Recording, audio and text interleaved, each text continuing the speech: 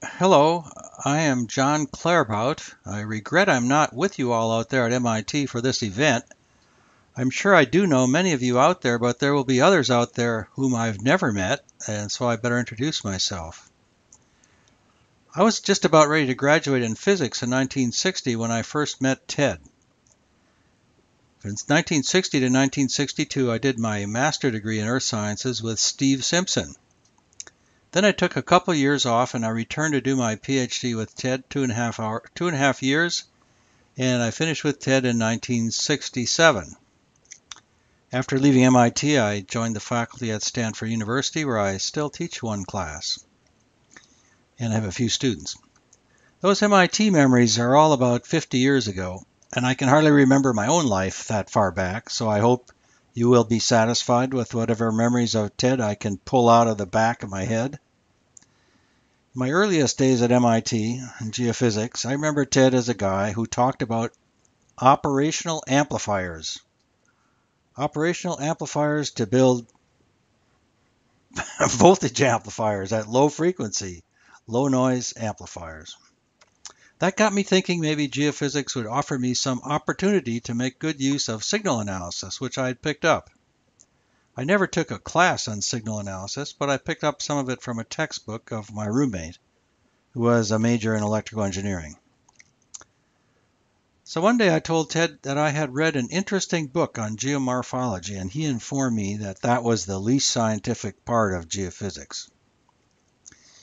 But I do remember the department seminar at MIT. There were many very diverse disciplines in earth sciences were reflected in those seminars, and I was unfamiliar with just about all of them. But there was two people in the audience who always had a question or two for the speakers, and one of those was Ted, and the other was the chairman, Bob Shrock. In the very early days, I remember helping Sheila and Ted move all their furniture from one town to another. Now, why would that stick in my mind? Well, maybe it's because I remember Sheila telling me, You better be careful with my furniture. Don't bang it on the door frame on your way out. I guess I was kind of in a rush to get the job done.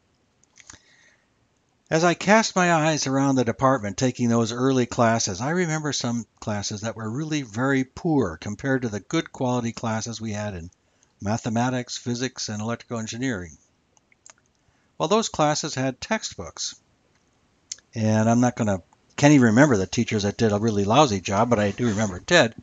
And Ted was was not a bad lecturer. He was just far from flamboyant, and he hadn't delivered those lectures zillions of times as they had in some of these other fields. But it was really good material, valuable material, and I wish that his material had been in a textbook. Even if he had written it, I mean, yeah, would have been good. I should have saved some of those old project reports. Maybe I still have them on my bookshelf somewhere. I'm thinking about irreversible thermodynamics, streaming potential, and of course, basic electromagnetism and magnetotellurics. Talking about magnetotellurics reminds me that Ted had a student named Neil Delaney. Uh, Neil Delaney was uh, he was a student of Ted's and he was doing electromagnetism. And I was an enthusiastic hiker in the White Mountains of New Hampshire. So we got together. Neil was able to borrow the department van, which I'm going to show you a picture of. Yep, I think this is me. and uh, and uh, we went off to the White Mountains and we did magnetotellurics, which I was curious to learn about. And I particularly remember planting electrodes in the ground, in this hard ground, and maybe peeing on the electrodes to make sure they had some good conductivity, and stringing a long wire, I'm going to just guess it was a half a mile long, and measuring the voltage between those two uh, electrodes which we'd planted, and seeing I don't know how many millivolts between them. So I was about that time I was finishing up my bachelor's thesis in physics, and so I told my physics professor about this, and he didn't believe it. The ground is a ground, you know, that's what it is in physics. But it gave me the opportunity to teach him a little bit about geophysics, that there's a, a return path inside the Earth. And we have this big loop, this big electric loop going between our wire and this return path deep inside the Earth. And because the Earth's magnetic field fluctuates, we have a voltage in this loop. well, I remember coming back from this trip with spools of paper. And I have no memory that we ever analyzed those spools of paper because basically we didn't have computers in those early days. Later on, I got them with Steve Simpson. Ted owned a VW bus identical in appearance to the one in this picture. I was an assistant Boy Scout leader in Cambridge. I wanted the Cambridge Boy Scouts to experience the joys of winter camping. Ted very generously loaned me his personal VW bus, which looked pretty much like this one, one weekend for that purpose of taking the Boy Scouts up to New Hampshire. Uh, that was very generous of him, I thought, and I also remember that the VW bus, the engine missed a lot. uh, okay, maybe it needed new spark plugs. I don't know, or maybe they, it got too warm. Anyway, years later, Ted got a big an award at SEG for his early work on magnetotellurics. And I remember in those days there was some theoretician Ted knew at National Center for Atmospheric Research in Colorado. And this guy would publish long papers loaded with mathematics about the ionosphere. Well, we all know that when you make such theoretical papers, what you're basing it on is on the idea of layered shells, if, if not homogeneous shells. So, uh, but the real ionosphere is not layered shells, as Ted knew very well.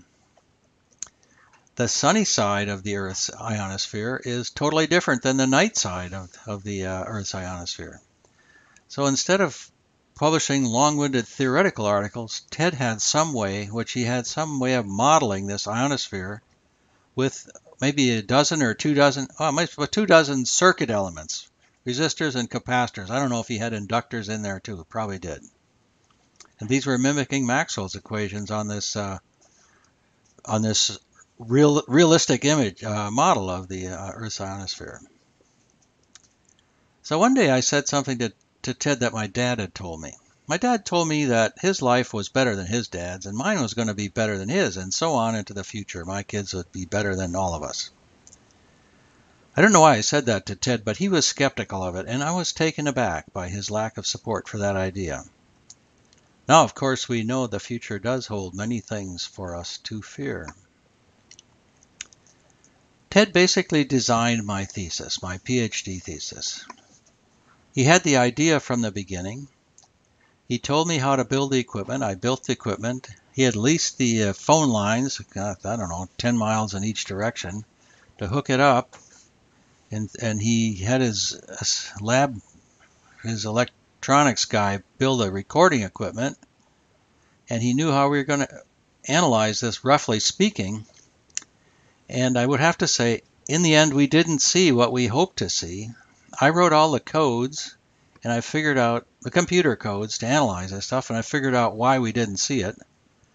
And so that was, of course, a disappointment to me. But it, but it was not a disappointment to other people. They really wanted to know the answer to this question. So, and I really, really liked doing my thesis under TED. I, I think it was wonderful to have a thesis that goes from building equipment all the way down to analyzing it and discover, discovering something isn't true. I'm not going to give you a long lecture about that. Well, it was interesting, fascinating. Um, we could, I better not start talking about that. So Ted never paid much attention to publications. As a consequence, I didn't either. In my own PhD thesis, I eventually abstracted it and I left it in the proceedings of some conference which is long forgotten. Uh, this, of course, is a mistake that no one like Frank Press would ever make. Okay, well, they're different. I remember on one occasion I must have been full of myself about how us MIT folk were better and smarter than other people, and Ted told me, and rightly so, that I was not being very polite. Was I too brash or was Ted too modest? Well, I, probably a little of each. Now, the, the, the, last part of this story, oh, this is a good part of the story. Ted's desk was a sight to behold. The papers on it were about this thick, I believe. The whole entire desk, the entire desk was full of about six inches of paper. And on it was mail that had been opened and mail that had not been opened. And he never seemed to touch any of it. And every once in a while, he'd have to sign a piece of paper, like my thesis or something. So he'd pull out this sliding drawer and he'd have a little space that he could sign a piece of paper. So finally, after that, I have one last story to tell you and a picture to show, which I should be bringing up right now. A picture to show of something that I stole from Ted Madden. I don't recall the exact circumstances, but one day I laid my eyes on this pencil and I said, I must have that pencil. He doesn't need a little pencil like that. well, you'll see it on the picture when I get that up here. That pencil has the name Teddy Madden on it. And I just had to have it. And so what would I do with a pencil like that but put it in my desk drawer? So I don't know how many offices I've been through at Stanford. I started as the low guy in the bottom of the totem pole in a small office. and I got a bigger and bigger office. At a certain stage of my life, I had the big corner office, and, uh, and as I got older and older, I got a smaller office, smaller office. Now I'm now I'm jammed in with three people. So every time I change office, I had to move. And so you know what happened? You get all these drawers. There's and and I said, and so I, I thought I had this pencil somewhere uh, in my office and then Jennifer phoned me and said, would I come to Boston to meet the rest of you guys about this uh, at this memorial service? And the first thing I did was tell her about this pencil. But then I realized I didn't know if I had the pencil. oh, so then uh, I had to go and dig through 40 years, 45 years of 40, I don't know how many years of of old desk drawer stuff. But I'm, I'm pleased to report that I have the pencil and that Jennifer will be receiving uh, this wonderful uh, memento that I have of Ted Madden. Okay, so that's about all I can say about Ted. Um, all I can tell you is a little bit about me, what I'm doing lately, and I shouldn't spend much time doing that. If you can uh, spell my name, you can type uh,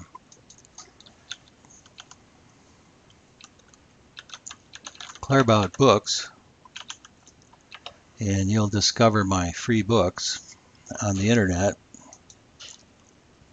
And uh, I've been uh, narrating book chapters. These are the five books I've written in my life. I've been narrating it recently.